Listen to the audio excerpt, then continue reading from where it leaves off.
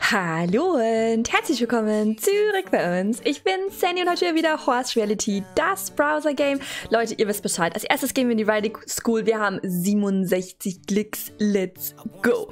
Wir haben endlich, Leute, endlich, endlich, endlich nachgefühlt, weiß ich nicht wie lange, ähm, ein Fohlen bekommen. Unsere kleine Blondie hat endlich ein Fohlen bekommen und es ist mega, mega zuckersüß. Es ist ein kleiner Hengst, was sehr schade ist. Ihr wisst Bescheid, ich hatte immer gehofft, also beziehungsweise ich hoffe fast immer, dass ich eine Stute bekomme, aber er ist mega, mega putzig. Wir werden ihn als allererstes mal trainieren. Äh, nicht trainieren. was? Wir werden ihn trainieren. Alles klar, Leute. Wir, wir werden ihn erstmal testen. Ich meine, letztendlich muss man ganz klar sagen, die Haflinger, haben die irgendwas Besonderes? Ich bin mir nicht sicher. Ich glaube, da ist so das GP ausschlaggebend und einfach die Werte. Und er hat zweimal very good. Yay! Das ist doch nicht schlecht. Oder was haben denn die Eltern gehabt? Die Blondie, die hat, hat die mehr? Die hat drei very goods. Ja gut. Ähm, und er hat Okay, Leute, ich nehme alles zurück. Warum habe ich so ein schlechtes Fohlen bekommen? Hallo? Ich habe mit einem Hengst gedeckt, der 357 erste Plätze hat. Und mein Fohlen hat einfach mal zwei Very Good, während die Eltern irgendwie 100 haben. Was geht denn ab bei mir? So, jetzt Leute, Inventory. Halfter. Und... Äh, ich habe natürlich mal wieder mehreren Pferden, Pferden vor allen Dingen, kein Halfter gegeben. Das holen wir jetzt sofort nach. Äh, ich vergesse das immer, Leute. Ich vergesse das immer so. Jetzt. Und dann muss ich mal gucken. Ich habe ihn noch gerade versorgt. Oder wir machen jetzt trotzdem Care for All Horses. Da sind wir dann da safe. Und jetzt gehen wir in die Haflinger Show. Und machen mal hier beide rein.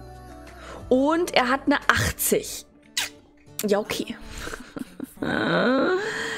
Das ist ähm, schade, hätte ich gesagt. Das ist eine Enttäuschung, aber gut. Ähm, die Frage ist jetzt, Leute, wollen wir die Blondie jetzt nochmal decken? Oder sagen wir, das war jetzt ein guter Start, der nicht geklappt hat und wir lassen das jetzt? Schreibt mir doch gerne mal in die Kommentare, was wir machen sollen. Er braucht natürlich noch einen Namen, der kleine Bub. Wir nennen ihn Bad Luck weil, Leute, ist Bad Luck. Ne, ihr wisst Bescheid. Ich glaube, er hat ein GP von, ähm, 6, äh, von 581 gehabt. Hat er wenigstens ein höheres GP wie seine Eltern? Steht bei Blondie dabei, ne? 558. Und er hat 635. Ja, okay. Ich meine, die Blondie ist halt vom GB. GB, GB. Was habe ich denn heute für Probleme? Oh mein Gott, Leute es ist auch übrigens nicht mehr so früh oder so, es ist 11.31 Uhr. Also da sollte man eigentlich schon sich artikulieren können, Leute. Aber ganz offensichtlich habe ich es mal wieder nicht im Griff. Ihr wisst Bescheid. Okay, Leute, es ist eine absolute Enttäuschung. Schreibt mir in die Kommentare. Ist Blondie einfach zu schlecht? Was sollen wir machen? Aber die Blondie, die ist gar nicht so schlecht.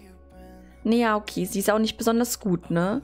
Schreibt mir in die Kommentare, was sollen wir machen? Ich meine, wenn das wenigstens jetzt eine Stute gewesen wäre, der kleine Bad Luck, dann hätten wir irgendwie ne, weitermachen können. Ich bin jetzt ein bisschen lost. Ihr wisst Bescheid, Leute. Das zweite Fohlen, das wir bekommen haben, ist auch ein Hengst. Rest in Peace. Nein, das ist ganz süß, oder? Was sagt ihr? Was sagt ihr zu unserem neuen Fohlen? Und, ich, und Leute, ich hatte das letzte Mal gedacht, dass ähm, dieses Fohlen, das wir bekommen haben, jetzt Moment, dass das Fohlen, das wir bekommen hatten, ach, das ist mittlerweile abgesetzt, glaube ich, dass ich das, dass das das Fohlen war, das ich meinte. Das war aber gar nicht das Fohlen, das ich meinte, sondern das war, glaube ich, ähm, nicht von mir gezüchtet, sondern ich hatte die Luna trächtig gekauft. Das Fohlen, auf das ich gewartet hatte, ist tatsächlich das Fohlen, ähm, das wir hier haben, von der Rabicano-Stute.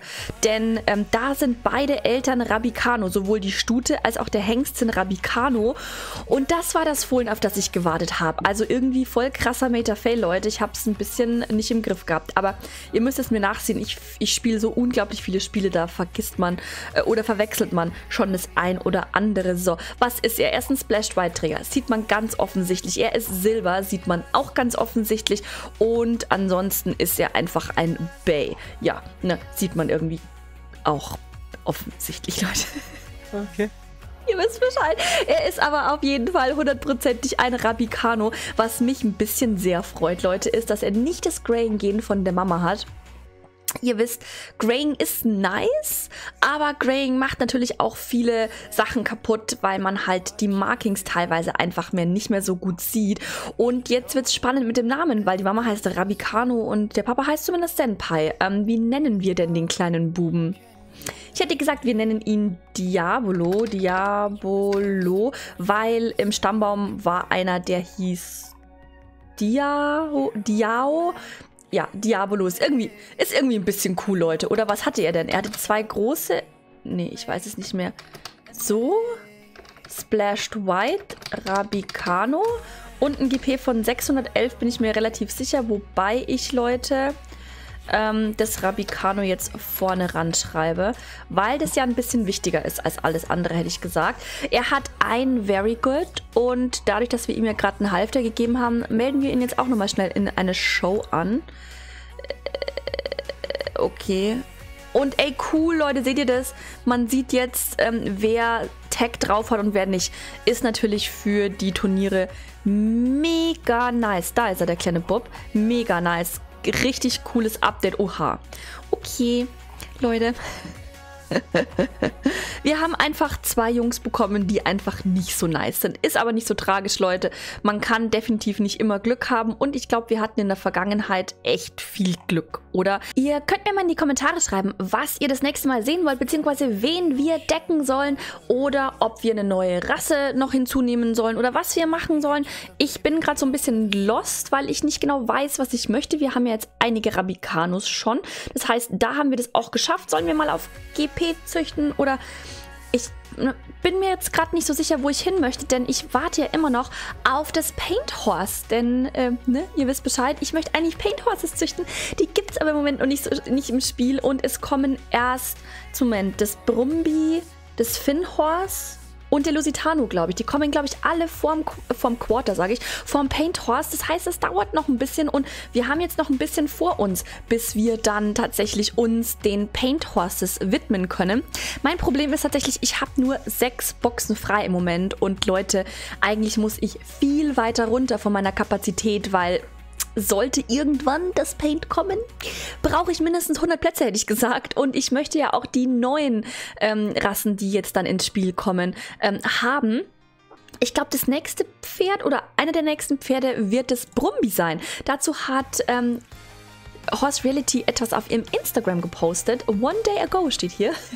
also vor genau einem Tag. Und ähm, ich glaube, dass Julelin Art nicht, nicht mehr oder nicht mehr ausschließlich für Horse Reality arbeitet, denn sie haben gesagt, dass ein, ähm, ein neuer Artist, ähm, ein neuer Grafikdesigner ähm, das Brumbi überarbeitet hat und so sieht das Brumbi jetzt aus. Das war der Sketch und ähm, hier sehen wir die verschiedenen Farben, Leute. Ähm, mega, mega nice, Leute.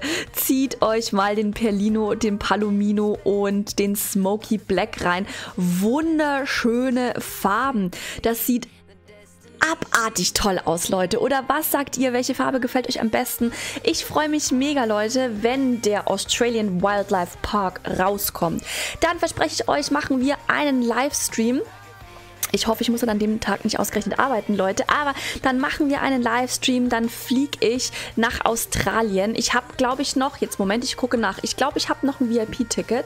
Äh, Moment, nee, Inventory. Ja, ich habe noch ähm, ein VIP-Ticket. Drei habe ich sogar noch. Ein First-Class-Ticket, wenn man das kauft, Leute, dann ähm, spart man sich die Abklingzeit. Jetzt Moment, wo gibt es das? Ach genau, im DP-Store, glaube ich, gibt es das. Moment, Moment, Moment. Unter Services, hier sind wir. When you purchase a First-Class-Ticket, you can use it to travel fast faster between continents. When you select your ticket upon traveling, your cooldown time will be halved. Okay, halved, also wir müssen dann die Hälfte der Zeit warten. Das ist ein bisschen schade, Leute. Das heißt, ich vielleicht muss ich das irgendwie davor oder so. Ich dachte, dass wir da sofort hinfliegen können. Ich habe mich irgendwie, keine Ahnung, Leute.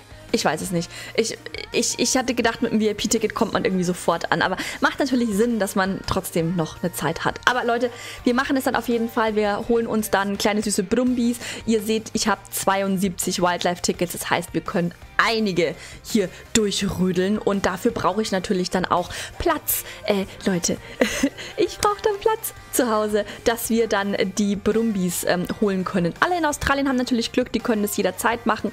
Wir auf anderen Kontinenten müssen da erst hinfliegen. Als letztes besuchen wir natürlich noch einen von euch und das ist diesmal Laura Stern 08. Servus! Hi Prom Arrow! Und nochmal vielen lieben Dank für deine Mitgliedschaft. Ihr wisst, Mitglieder am Kanal, also die neu am Kanal kommen oder so, wenn ich weiß, wie ihr in Horse Reality heißt, hier habe ich es jetzt zufällig rausgefunden, dann besuche ich euch natürlich auch in einer Folge.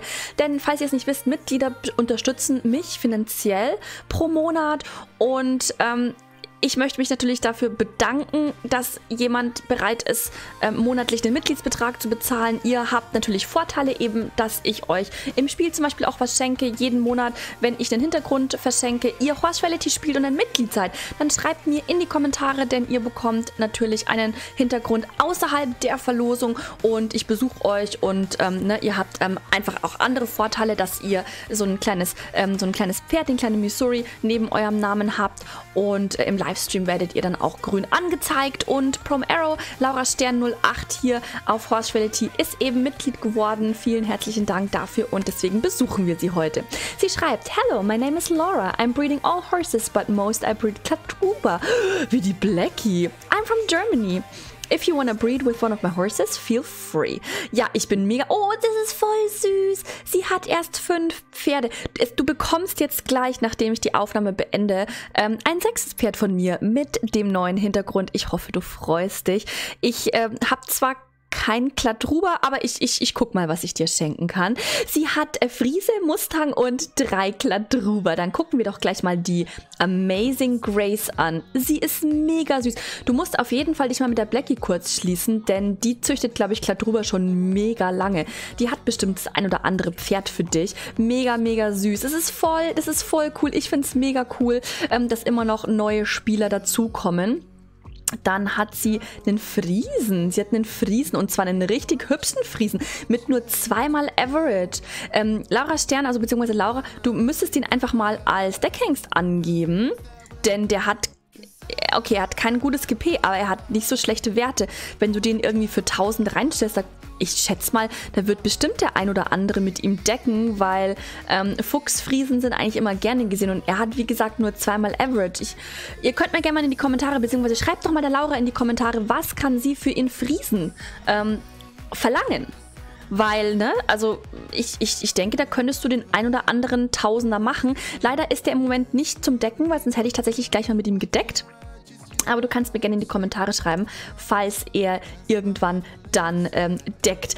So, ich habe jetzt die kleine Maus, die Linnea, der Laura in die privaten Verkäufe gestellt. Wenn ihr auch einen der Hintergründe, also einen dieser neuen Hintergründe haben wollt, dann schaut in das Video vor diesem rein. Wenn ich es nicht vergesse, verlinke ich es euch jetzt hier im i, denn da verlose ich fünf Hintergründe. Wie gesagt, ausgeschlossen sind die Mitglieder, denn die bekommen außerhalb dieser Verlosung einen Hintergrund. Dann schreibt es mir gerne hier auch nochmal in diesem Video in die Kommentare Kommentare, falls ich es im anderen Video nicht gesehen haben sollte. Und wie gesagt, schaut in das andere Video, schreibt rein euren Horse Reality Namen und warum ausgerechnet ihr den Hintergrund gewinnen sollt. Und nächste Woche werde ich das Ganze dann auslosen. Und ich wünsche euch allen viel Glück und bedanke mich recht herzlich fürs Zuschauen. Falls euch das Video gefallen hat, würden wir uns natürlich über ein kostenloses Abo von euch freuen über einen Like oder einen Kommentar und dann hoffe ich, dass wir uns im nächsten Video wiedersehen. Danke fürs Zuschauen Servus!